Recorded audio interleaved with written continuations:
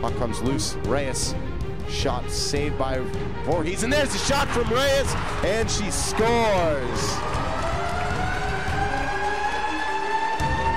Justine Reyes was denied twice in a row a pair of shot blocks, but the third one was laid up on a tee for her. She unwinded and fired far enough.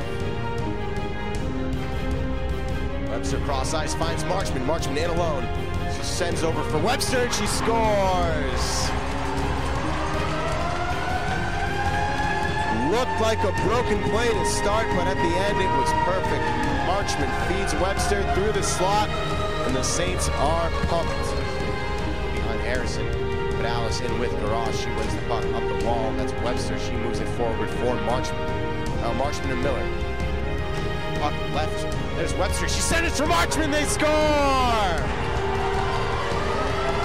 Yet another broken play that turns out perfectly. Over to the wall. Marchman able to chip it past the defender there. She drops it for Miller. Here's Miller. Skates in. She'll score on the empty net. So an aggressive strategy for Cornell. Pays off for the Saints. An empty net goal for Hannah Miller.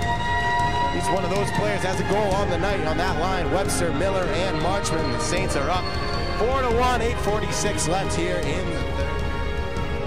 Hard flipped over for Reyes in on there. There's a turnover and a shot by Edney, and she scores!